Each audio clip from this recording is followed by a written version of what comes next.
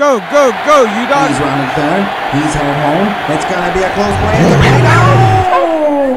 Safe. That's the dog. That is one powerful punt.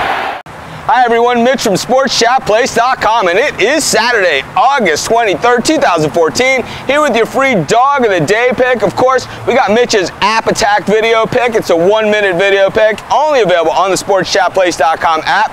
The app 100% free at the App Store. Of course, we also have SportsChatPlace.com Premium and Premium Plus, the best value in sports handicapping anywhere, where you get my best bets, or staff's best bets, picks from some of the top handicappers in the world today, lowest subscription prices on the planet. Of course, we have NFL preseason football and Major League Baseball going on in, in the premium area, and we are knocking it out of the park with this NFL preseason, giving out the Green Bay Packers an easy winner over the Oakland Raiders yesterday, and of course the Seattle Seahawks, who absolutely took it to the Bears, were our two preseason NFL picks for yesterday. I got three NFL picks in today's premium area.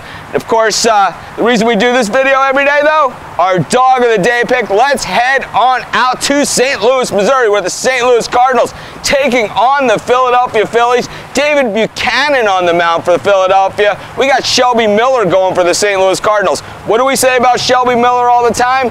Great in the day game, not so great when it's not a day game. Well, he's pitching at night in this one up against the Phillies team that really hasn't decided to pack it in yet. A lot of veterans on this team, a lot of pride. Not in the playoff hunt, but I'll tell you what, they can play the role of spoiler, and I think they do it here against the Cards.